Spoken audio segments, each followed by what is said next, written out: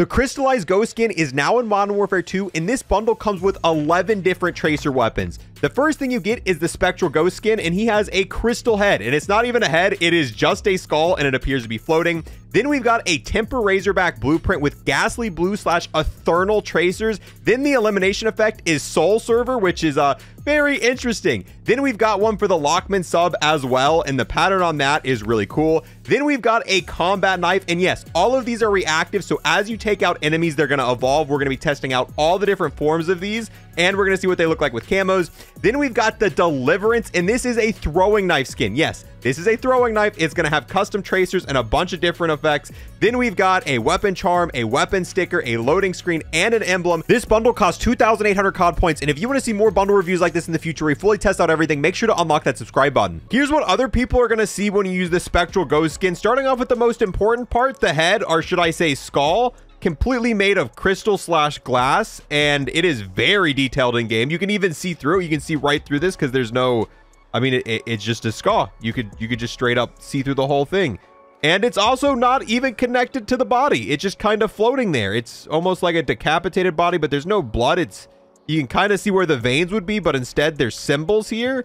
Um definitely an extremely realistic skin. This is what modern day soldiers look like in combat if you guys haven't uh, seen that. They're floating crystal skulls. There's uh, some uh, smoke effects around it. The suit itself looks like veins are muscles and stuff, but it it doesn't look like realistic. It's it's almost like the suit he's wearing has that imprinted on it. Uh, just generic pants is what his pants look like. We got a pistol there. But yeah, the, the rest of the suit, very basic. The only really standout part is the face, and it stands out a lot. What if we shoot here? Can we can we still hit someone if you shoot him through the neck? Okay, yes. So even though uh, it there is no neck here. If you shoot him right there, it's still gonna do damage. The crystal skull blends in with water, so if you're playing water plays with this skin, you're kind of ducking in and out. It's gonna be a little bit harder to see than normal skins there, because you can see that skull just almost matches the water perfectly there. But yeah, that's the full-on operator. As you get close, obviously it reveals his entire body, but as you back away a little bit, this might be pretty powerful when it comes to playing in water. Now let's see if this skin gives away your position in the dark. And no, it does not. This is actually a pretty stealthy looking skin and it might be even harder to see than a normal looking skin in darker environments. You do have some glowing parts around the neck. That's what made me think it was going to be a little bit more noticeable in darker areas. But unless you're like right up there, you don't see that whatsoever. Even the skull blends in in darker environments. This isn't a reactive skin, so as you get kills, it's not going to evolve. So this is how it's going to look no matter what. So it's a pretty stealthy skin. Now for the tracers and blueprints that come in this bundle, starting with the Lockman sub, this is pretty basic, but keep in mind these are reactive weapons, so as you get kills, they're going to evolve and get more ridiculous. This is just the base form. We'll be testing out the other forms in just a moment. It looks like it's got obsidian for the weapon skin. Then the bullets are light blue. Moving on to the Tempest Razorback. Once again, just looks like it's got obsidian on it with light blue bullets. I am so glad this is not an ISO Hemlock or a BAS-P. I feel like all the bundles this season for ARs, it's either been an M4 or an ISO Hemlock. There's not very many Tempest Razorbacks with tracers, so this is nice to get. Same thing, the Lockman sub is a refreshing weapon to get as well. There's not many other Lockmans or Lockman subs with tracers in this game. All right, moving on to the tracers. So we shoot it up into the sky, and it's kind of like a light blue up there. Then if we shoot it onto the ground, oh, it's got a custom sound. And it's also like a ghost splash effect, like a spectral splash effect. That is a pretty unique looking trace. Let's just listen to the sound real quick. I really think that adds extra personality to blueprints when they give them custom shooting sounds. Yep. Also here on the Tempest Razorback. Let's go ahead reload this. Now let's see what the tracers look like in a darker environment. Oh, they're not. Yeah, they're still pretty noticeable. It's like that ghost splash effect. The effect still shows when shot into water. It is kind of hard to see though, but yeah, it's still definitely there. These tracers are crazy at night. When we were testing it earlier, I didn't see that purple hue around it, but yeah, when you shoot it, there's also a giant purple hue and uh, you're not going to miss it at night. Also, there is a custom laser sight for the MP5. It wasn't really noticeable at daytime, but you can see it's just a light blue effect. Must follow the light. Then for the third blueprint, we've got a combat knife, which is also reactive. That is extremely rare. Getting a reactive melee weapon almost never happens. The skin itself is pretty basic, just looks like it's got obsidian. The blade has some holes in it, but it's also got a charm on it. And no, I didn't equip this. This is just on there by default. In Modern Warfare 2, you can't put charms on melee weapons. So this is the only melee weapon with a charm in the entire game. You can't really see it when you're inspecting. It kind of dangles on the bottom. You can catch a glimpse of it for a second, but uh, yeah, nothing too crazy. Now here's where things get really fun. Let's test out the custom hit marker effects, the custom elimination effects, and evolve these weapons. So when you shoot an enemy, it doesn't look like anything special happens. Maybe the spectral blast is just a little bit bigger and it, eh, it honestly doesn't look like anything special happens when you hit an enemy. So no special hit marker effects. Then when we take out an enemy, the weapons take the soul of the enemy and absorb it. Uh, what about a he headshot? Anything special if we get a headshot? Nope, you just absorb their soul like normal. It kind of sucks because this was an effect they gave us for free at one point. Then they removed it and whoa, what the oh that, that's just that's just Izzy. Then they brought it back, but now it's in a bundle. So yeah, they accidentally gave us a knife with these effects, but now we have it in this bundle. So this should evolve the weapons. If we take out there, another soul, three kills. Now we've got the first evolve form of these weapons. And you can see it just looks like they're constantly absorbing souls. They've got like the same as the impact effect, but it's just constantly going into the weapon. I wonder if that's going to stay when we put camos on this. Then we've got it also on the... Ooh, it almost looks like the souls got absorbed into the obsidian and crystallized it. I really like the way this looks. Look at the Tempest Razorback one more time and it doesn't have the same crystallized effect. Almost a little bit. I guess it's just not as much surface area. Let's get a few more kills, see if we can evolve these bad boys again. Go ahead. All right, long range suck. Here we come.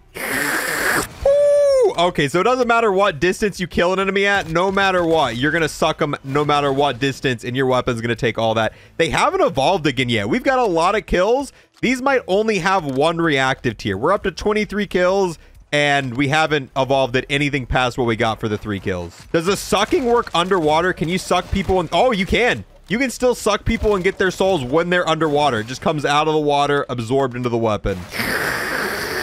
Now let's suck some people at night. So go ahead. Oh, dude, the... Oh, when it goes into the weapon, it looks insane. One more time. And there's the first of all form. This almost looks like a Pack-a-Punch camo. This, this just straight up looks like a Pack-a-Punch camo when you do it at night. That's pretty sick. Go ahead, look at the... There's just not near as much coverage on the Tempest Razorback. It just...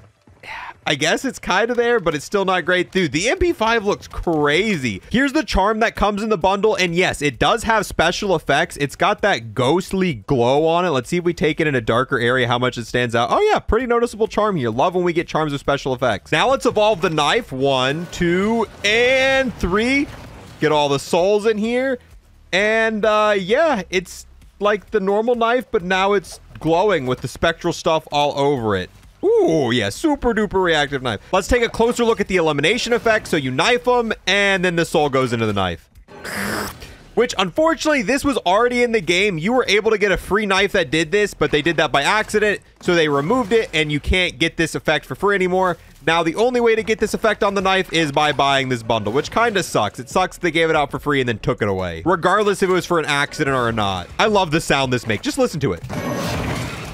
Now, these reactive weapons work different than all the other reactive weapons in the game. You actually have to get the kills with a weapon that's going to suck the soul for them to evolve. If you get killed with other weapons, it's not going to count. And if you die, it's going to reset it. With other reactive weapons, when you die, it doesn't reset the effects all three kills have to be in one life. The second you die, it's going to go back to the base form. Now for the camo coverage, and we're only going to show this on a few weapons because you do have to get the kills each and every time. Here's the final form with gold. You can still see the gold and you can still see the crystallized part. Overall, pretty cool. The knife, whenever you put mastery camos on it and evolve it, you can't see any part of the camo whatsoever. This has the gold camo on it, but you can't tell. Polyatomic looks pretty nice. Galvanic also really doesn't fit that well in these blueprints. Then here's the projectile camo. I think it looks better than the other animated camos, but honestly, I think you might be best just not running camos on this. And finally, we got the solid camos, and I think this is another blueprint where the solid camos are just the best. It just, it, the moving parts just add too much going on with it.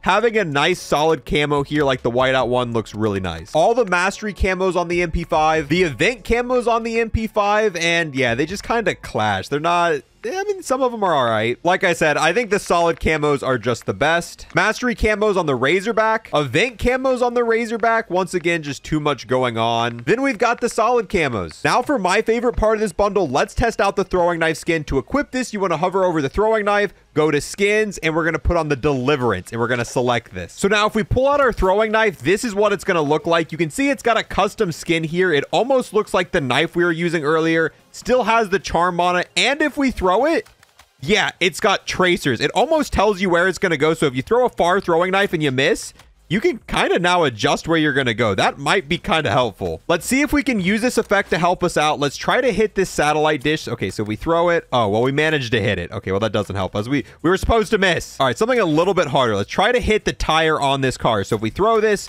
we can see the line there and we can adjust it a little bit and boom, there we hit it. I don't think it's going to help you a ton because the line goes away pretty quickly, but you are going to see the trajectory when you throw, which can help you in some cases. Oh, it's even got the custom skin when you have it on the wall. You get to see the charm and everything. That's kind of cool. But what about when you take someone out with a throwing knife? Oh, it collects the soul. Yeah, this is uh, the best throwing knife in the game. Go ahead, collect the soul. Let's see. Can we go back, collect a throwing knife? Yes, sir. Thank you very much. Thank you very much. Does the throwing knife evolve as you get kills with it? Hold on, I'm to have to throw this down, pick it back up. Oh, the throwing knife even gets the special effect. So after you get three kills with your throwing knife, it gets the same stuff that's on the knife there. I didn't expect that. The throwing knife even evolves. It's a reactive animated throwing knife. Oh, yeah. I, um, I love this. Oh, yes. Let's go. Give me that soul. Oh, Dude, nothing's gonna feel better than hitting a cross mass cross map throwing knife with one of these and collecting the soul. That is so nice. The one downside I can see about this throwing knife is if you're trying to stay hidden and you take out an enemy, yeah, his teammates are going to know exactly where you're at because there's going to be a giant orb that leads right to your location. This is what it looks like when other people are using the weapon. So yes, other players can still see the souls pop out of the enemies and go into the weapon. And yes, enemy players can see it when you do it to them as well. Now let's see what happens when we take all the attachments off these weapons and how how many different weapons we're able to use the tracers on. So the MP5, you do lose a little bit when you take the barrel off. And with the MP5, even if you do take all the attachments off, you are still going to keep the tracers. The only way you're going to lose that is if you change the ammo type. Then we've got the Tempest Razorback. Let's go ahead remove all these attachment as well.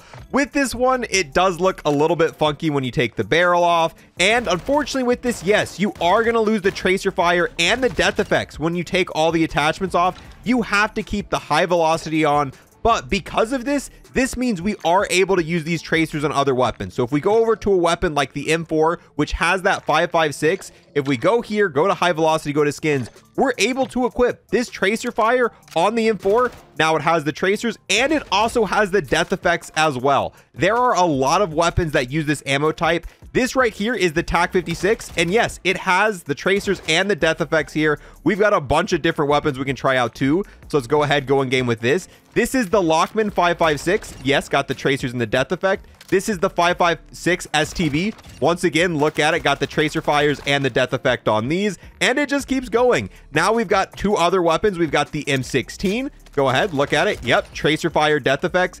This is the, I don't even remember what this is called. This is the STB uh, LMG, but as you can see, it's got the tracer fires and the death effects, and we even have another one. We've got this LMG right here. What What is this? The Icarus 556. Look at this. Yep, got the tracer fires and the death effect. So because of this, we were able to put that ammo type on one, two, three, four, five, six, seven additional weapons that weren't in the bundle. And the high velocity, in my opinion, is the best ammo type for DMZ and Warzone. So if you're an AR slash LMG player, this is a pretty good bundle to buy because you get so many different weapons with tracers. And finally, we've got the DMZ slash Warzone testing. Sometimes the tracers and effects work against bots, sometimes they don't. So yes, in DMZ slash Warzone, the tracer effects work. Now let's see what happens when we take out a bot. Are we going to get the soul from it? Yes taking out bots in DMZ or Warzone is going to get you the soul. And after three kills, it is still going to evolve. Oh, now what about the throwing knife? Hold on. Let's, uh, let's not die here. Oh, excuse me. Pardon me. All right, throwing knife. And this is going to be huge because I love the throwing knife in DMZ. So yes, the throwing knife effects still work in DMZ slash Warzone. That is, that is sick. Yep, this is probably going to be the only field upgrade I use in DMZ from this point on. overall, if I had to rate this bundle, even though it's a little bit more than a normal bundle, normal bu normal bundles are 2,400 COD points. This is an extra $4. It's 2,800, but uh, this is one of my favorite bundles in the entire game. I love the crystallized like death effects you get where the weapons themselves look crystallized when they evolve. They got the souls going into it. When you kill enemies are real players, you take their soul and you absorb it into your weapon. You get a throwing knife skin, which is the second ever uh, uh, lethal skin we have here in Modern Warfare 2. We got the Wampa grenade, but now we've also got this throwing knife, which I'm going to be using a ton.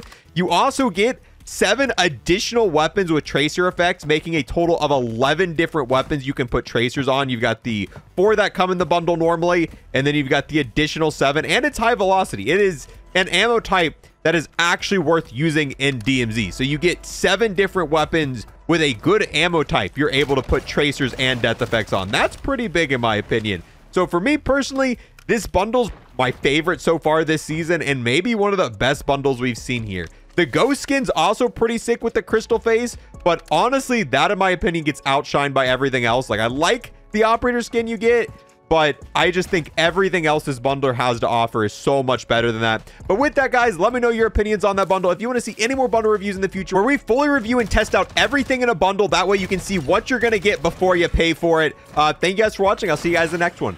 Peace.